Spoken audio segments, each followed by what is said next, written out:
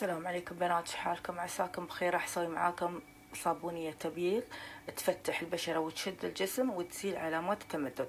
طبعا لازم نعرف نوع البشرة اللي راح نسوي لها الصابونية. البشرة الجافة راح نستخدم صابونية دوف طبعا لازم يكون في صابونيات أساسية ولكن انت مع الصابونية الأساسية ضيفي الصوابين اللي تحتاجينها انت أو اللي تحتاجها بشرتك. تمام؟ البشرة الجافة صابونية دوف أو صابونية الجليسرين أما البشرة الدهنية يا صابونية الكركم أو الكبريت والبابايا أو دودو أو الكوجيك أسيد. طبعا هذه اللي دايما الدهنية اللي دايما آه، تكون معرضة لحب الشباب. وأما المختلطة نفس مكونات البشرة الدهنية والبشرة العادية راح نستخدم صوابين محايدة مثل الخيار أو الجلسرين المهم إنه نبغى شيء يرطب. تمام؟ أنت شوفي شو تحتاجين من هالصوابين وضيفيها على نوع بشرتك. ولكن الصابونية الأساسية هي البابايا. طبعا بنات اسمعوا السنابات والشرح لآخر شيء لأنك لو سألتيني على ال direct وما رديت عليك اعرفي أن جوابك موجود في السنابات فلا تسوين skip. الشرح أهم من الخلطة. المهم طبعا أهم صابونية في التبييض المشهورة اللي هي البابايا. okay؟ البابايا تدخلك في أكثر الشرح أهم من الخلطة. المهم طبعا أهم صابونية في التبييض المشهورة اللي هي البابايا. okay؟ البابايا تدخلك في أكثر صناعات الصابون اللي تبيع.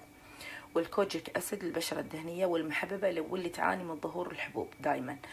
وثالثا صابونية الكركم للتبييض ورابعا صابونية الحبة السوداء. هذه اللي ذكرتهم ينفعون أكثر شيء البشرة الدهنية واللي معرضة لحب الشباب. تمام. أما الماي راح نحط ماي ورد أو ماي زهر وراح ننقع فيه الأعشاب لأن الأعشاب هو اللي يعطي فعاليه مفعول أكثر في الصابونية. مش كل الأعشاب راح نستخدمهم اللي راح أذكرها الحين. خذي اللي تحتاجينه فقط. تمام؟ تابعي معي للنهاية عشان تفهمين. طبعا مو كل شيء راح نستخدمه لكن الحين راح أعطيكم فوائد الأعشاب. طبعا الزهر آه، الورد بتلات الورد تعطي تعطير ونضاره وتفتيح للجسم. أما الخزامة تعطر ومضاده للالتهابات والفطريات وتوازن أفراز الدهون وتقضي لك على روايح الجسم. وكليل الجبل جدا مفيد يا بنات للبشرة الدهنية والتصبغات والبقع الداكنة. وهم بعد يجدد لك البشرة ويحارب لك التجاعيد ويخفف لك من تهيج البشرة تمام؟ البابونج معطر للبشرة ويعمل لك على محاربة حب الشباب ويعالج لك الالتهابات ويعطيك نعومة رهيبة للجلد. وهم بعد يعالج لك التصبغات ويعالج لك ويعطيك نضارة للبشرة وعندك المرة المرة أحلى شيء في الصابونية اللي هي تشد لك الجسم وتعالج لك علامات علامات التمدد ومطهر وايد قوي وجدا ممتاز للبشرة ويعالج الحبوب ويقضي لك على التهابات وفطريات وتعقيم يا الله مي دقدق. المرة نفس ما قلت لكم إنها تشد الجلد وتعالج علامات تمدد الجسم. هاي الخطوط البيضاء اللي تطلع من الحمل أو من المتن ومطهر قوي جدا جدا للبشرة. وتعالج الحبوب وتصفي البشرة وتشدها الروعة روعة بنات المرة. طبعا كلكم تعرفونها ما شاء الله عليكم. وعرق السوس يفتح لك ويبيض لك البشرة بشكل ملحوظ ويعالج التصبغات الجلدية وينعم البشرة ويقشرها وينظفها ومضاد للالتهابات ويعالج حبوب البشرة والجسم. تمام. الزعتر الزعتر يا بنات يصفي البشرة يوحد لونها مفيد جدا جدا جدا للبشرة بالذات الدهنية اللي تعاني من حب الشباب. أخ والزعفران تعبت من كثر الكلام. والزعفران يا بنات يحتوي على كمية كبيرة من فيتامين سي يطرد لك السموم وينعم لك البشرة ويحسن ويحسن نسيج الجلد ويعطي للبشرة نعومة ونضارة قوية. هم بعد العصفر تقريبا العصفر نفس الزعفران ولكن يزيل لك الكلف يخفف لك الكلف والنمش بالذات البنات اللي يعانون اللي يعانون من عند كتوفهم. في بنات وايد يشتكوا لي عند كتوفهم في تقريبا نفس النمش أو نفس الكلف. جدا ممتاز لها العصفر. تمام؟ وهم بعد يطهر البشرة. والحليب مغذي قوي للبشرة ويفتحها ويعطيها نضارة ونعومة والزنجبيل طبعا معروف إنه يشد ويزيل لك الخطوط البيضاء. هذه شو؟ خلصنا فوايد البودرات. يبي ورقة وقلم واكتبي الكلام اللي أقوله أو سجليه بتليفون ثاني. تمام؟ الحين راح نروح للزيوت. الزيوت اللي راح تحتاجينها كل وحدة على حسب بشرتها. اختاري الزيوت على حسب نوع بشرتك. طبعا يا حبيبات قلبي الزيوت الزيوت جدا ضرورية للصابونيات لأنها تعطي لليونة وتعطي ترطيب وهم بعد لها خواص جدا قوية في تفتيح البشرة وتعالجها. طبعا من أهم الزيوت اللي ترطب اللي هي زيت الزيتون مرطب جدا عميق للبشرة ويعالج مشاكل البشرة. وزيت الجلسرين منعم ومرطب عميق للبشرة ويبيض ويوحد لون البشرة.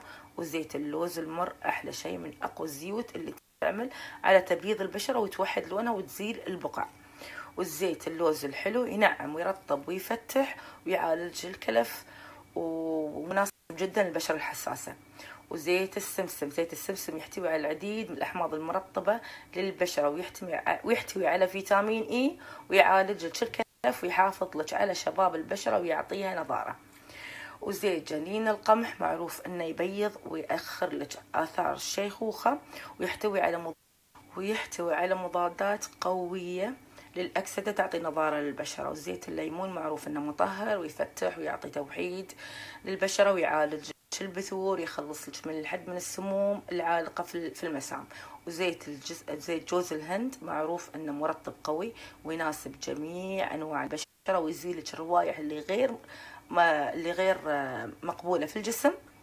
وهم بعد يفتح الأكواع ويفتح البطين ويفتح الركب وينعم بشكل ملحوظ ويشيل البثور ويحارب لك الجراثيم ويعتبر جدا ممتاز. الحين راحني على الزيوت الأساسية. الحين راحني للزيوت الأساسية اللي هي زيت شجرة الشاي علاج البشرة اللي تعاني من حب الشباب والفطريات وزيت الترمس للبقع والتصبغات واسمرار البشرة وزيت الورد مقشر ومبيض وخاص المناطق الحساسة ومعطر للجسم. إذا بشرت جافة راح تستخدمين زيوت رئيسية مثل زيت الزيتون وزيت الجلسرين للبشرة الجافة تمام؟ وأما للبشرة الدهنية أما باقي الزيوت اللي ذكرناها خذي اللي تحتاجينه منها ويكون ملعقة واحدة بس. يعني مثلا راح تاخذين ملعقة زيت الجلسرين كبيرة هاي زيت أساسي للبشرة الجافة وزيت الزيتون كبيرة للبشرة الجافة هذا زيت أساسي. أما باقي الزيوت خذي اللي تحتاجينه منها. إذا مش متوفرة عندك اللي كتبتها في عندك زيت الجوجوبا زيت الأرغان الزيوت اللي, اللي متوفرة عندك. كلها هذه جمعيها. والزيوت الباقية راح تكون أقل من الزيوت الأساسية يعني تقريبا نص ملعقة. الزيوت الأساسية لكل البشرات سواء الدهنية أو الجافة أو العادية أو المختلطة ملعقة كبيرة أما الزيوت الباقية نص ملعقة نص ملعقة صغيرة. تمام؟ ولو كانت بشرة غامجة وفيها تصبغات قوية حطي ملعقة كبيرة من زيت المر وزيت الليمون بشكل أكبر يعني خليه أساسي. أما باقي الزيوت بكمية قليلة. أنت شوفي شو تبين من الزيوت واللي يحتاجها جسمك. أما لو بشرتك دهنية ضيفي مقدار آآ ملعقة كبيرة من زيت اللوز الحلو وزيت الليمون وشوية من زيت الزيتون عشان لا تكون وايد رطبة بشرتك وأكثر عن اللزوم يعني. أما الإضافات الثانية راح نحط البودرات. الحين راح يجي دور البودرات. إن شاء الله مع الشرح راح تفهمون بنات مع التطبيق. الحين شرح أكثرنا يحتاج تفتيح وترطيب. ووايد منكم ما يهتم في الترطيب يهتم يبى التبييض فأنت شوفي شو تبين براحتك. المهم الحين راح نيجي البودرة طبعا راح نختار النشا. النشا جدا مهم لأي صابونية يخلي قوامها كريمي ويخلي قوامها ثقيل وله أهمية كبيرة في تفتيح البشرة وإغلاق المسام. هذا أولا. وثاني شيء الترمس. الترمس يفتح ويوحد اللون وهم بعد نبى الرز. الرز يفتح والحليب هم بعد مغذي جدا البشرة والقهوة. القهوة يشد ويعالج علامات تمدد الجلد ويبيض البشرة. وراح نحتاج طين حطي أي طين متوفر عندك سواء هندي سواء كاوي سواء ال rose براحتك.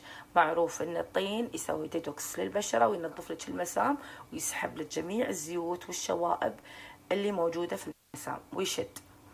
والكركم الكركم يعطي ترطيب وتبييض البشرة ويعالج حب الشباب والزنجبيل والعسل يعطي نضاره وصفاء.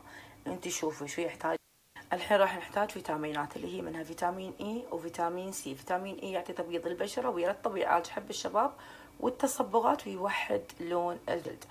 وبودرة فيتامين C إذا مش متوفرة حتى قشور البرتقال أو قشور الليمون. براحتك.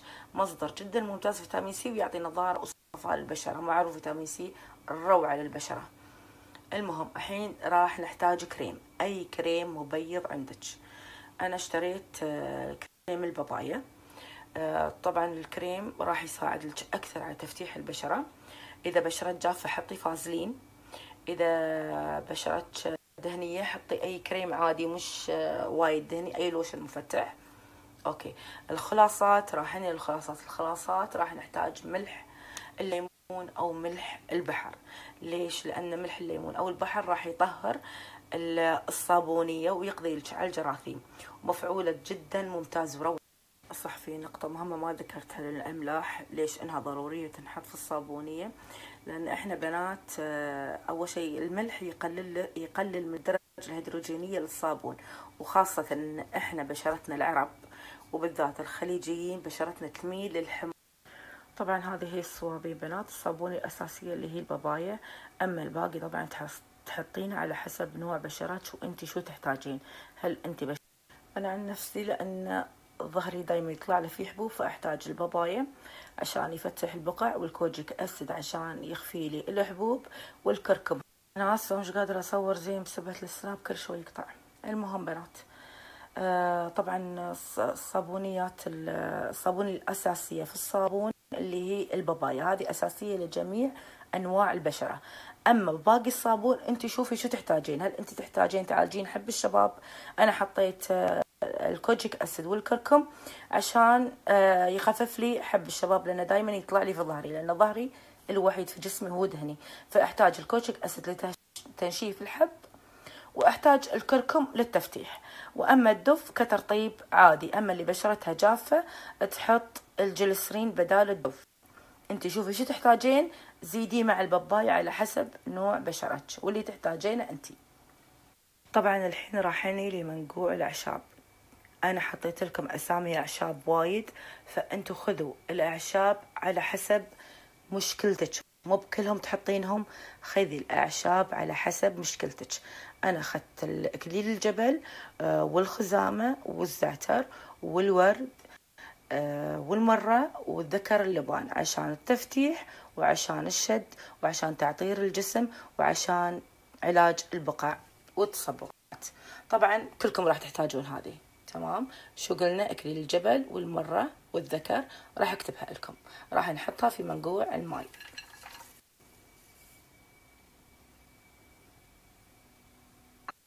طبعا راح نغليها غلية غليتين ثلاث وبعدين راح نشيلها. ما راح نغليها وايد على الماي. هني راح ني للزيوت. الزيوت أنا اللي احتجته جنين. القمح والسمسم وزيت اللوز المر وزيت جوز الهند. فانتي حطي الزيوت اللي تبينها. حطيت ملعقة من زيت جوز الهند ملعقة كبيرة طعام. أما الثلاث الزيوت هذه كلها خليتها في ملعقة واحدة. صبيت من كل زيت شوية. فانتي أنا الزيت الأساسي مالي حطيته زيت جوز الهند. أما باقي الزيوت آه راح أحتاج بس الثلاثة. السمسم وجنين القمح واللوز المر. أنت حطي الزيوت اللي تناسب بشرتك مع الزيت الأساسي اللي ذكرته قبل. طبعا الحين راح أجمع كل الصوابين في ملة واحدة. صح على فكرة الصابونية مش من مخي. شفتها اليوم بالصدفة على عند وحدة عراقية في اليوتيوب الله يسعدها. حبيت الخلطة. فمثل ما ذكرت قبل الصوابين تحطينها على حسب مشكلتك الأعشاب تحطينها على حسب مشكلتك الزيوت تحطينها على حسب مشكلتك. كل واحدة فيكم بقى أضرب مشكلتها. آه مش هعود أعلم. يلا. أنا أنتظر بس الماي. الحين بتيني واحدة أنتي مصرية؟ من فترة كذا حطيت كلها فيديوهات مصرية واحدة أنتي مصرية؟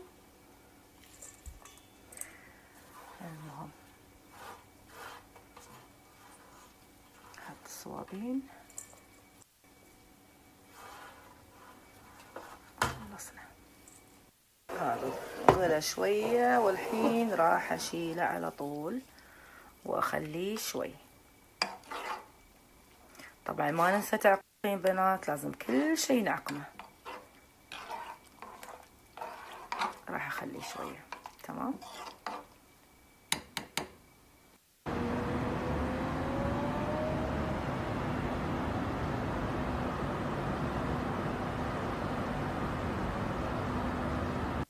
هني صبيت منقوع الأعشاب والحين راح أحط البودرات اللي أنا اخترتها اللي هو الملح للتطهير والنشا والطين كاولين والكركم والزنجبيل والترمس للتفتيح وللشد وراح أخلطهم مع بعض.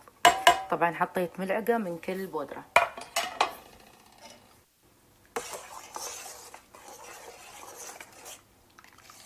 والحين راح أقايس الحرارة عشان أحط المادة الحافظة.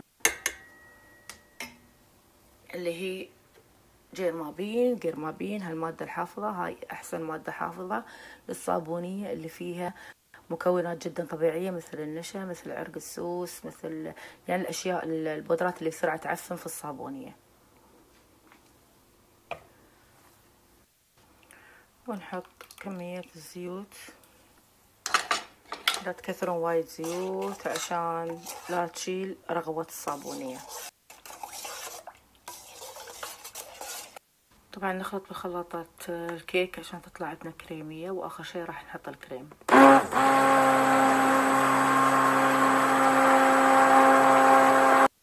حطيت عشرين قطرة من زيت الشاي الأساسي للتطهير وعلاج حب الشباب والتفتيح وحطيت زيت الكافور لتطهير البشرة وتطهير الحبوب.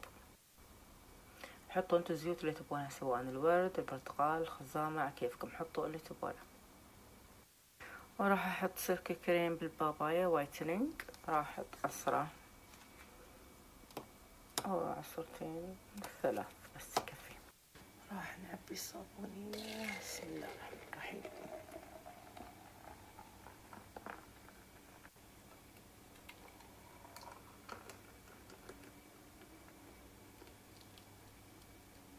هاي الفقاعات تنزل. وكذي خلصنا صابونيتنا لليوم صابونية التبييض لشد الجسم وإزالة علامات تمدد الجسم والتفتيح والتبييض وكل اللي عاوزينه. وتصبحون على خير. وتفتيح المناطق الغامجة وشد الترهلات مو شد شد شد نفس الرياضة. يعني الجلد المتكرفس يعني يحسن من منظره. إن وايد بنات يفهمون كلمة شد غلط. هاي مش رياضة عشان تشد جسمك وجلدك يعني. الجلد اللي متكرمش عند علامات تمدد الجلد يحسن من مظهرها شوية.